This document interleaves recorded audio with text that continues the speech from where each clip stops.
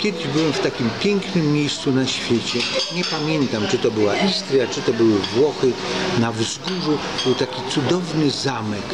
I się zapytałem, czy to jest hotel? Jaki to jest hotel?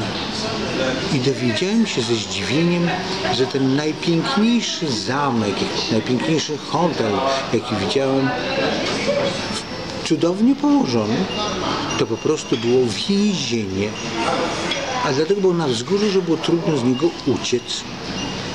I tak mi się skojarzyło, drogie panie, że jeżeli następuje taki piękny moment i facet wam przysięga, że będzie z wami aż do końca, aż do samego końca, to wcale nie znaczy, że to jest najromantyczniejszy moment waszego życia.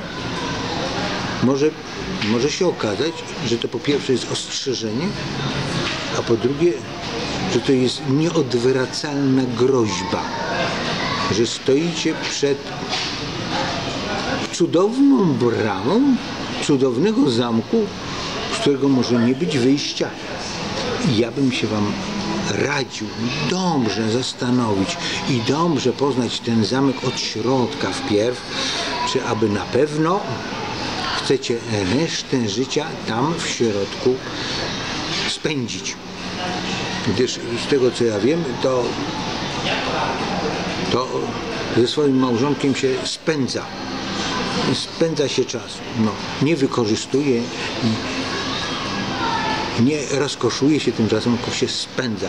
Nie, że to nie jest żadna rozkosz. Dlatego, drogie umiłowane słuchaczki, uważajcie, jak usłyszy- usłyszycie groźbę i będę Ci wierny aż do śmierci, będę Cię kochał aż do śmierci, to może być to po prostu wyrok do żywocia i dlatego